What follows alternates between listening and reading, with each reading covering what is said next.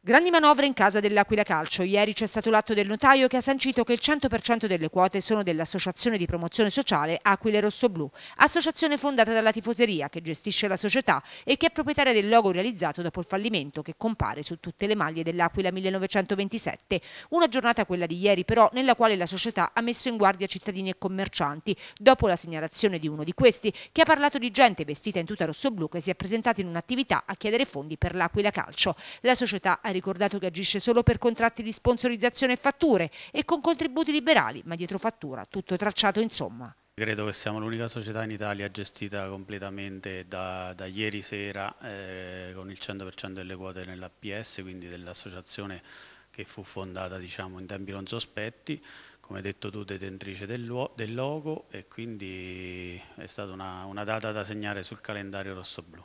Intanto l'ambiente rossoblu è in fermento dopo la bella vittoria nella prima di campionato con una straordinaria cornice di pubblico. Domenica prossima c'è attesa per il derby a Chieti. Il ritorno in Serie D ha portato anche una campagna abbonamenti importante con oltre 900 tessere fatte e con la possibilità di sottoscriverne ancora sino al 22 settembre. Approfitto di, questa, di questo intervento per ringraziare la città dal punto di vista degli abbonamenti che credo abbia fatto il record della, della storia dell'Aquila, gli sponsor, tutti i tifosi venuti domenica in massa, sono stato felicissimo che finalmente abbiamo vinto quando diciamo, lo stadio è gremito e domenica a Chieti c'è grande entusiasmo, credo che saremo seguiti da tantissimi tifosi.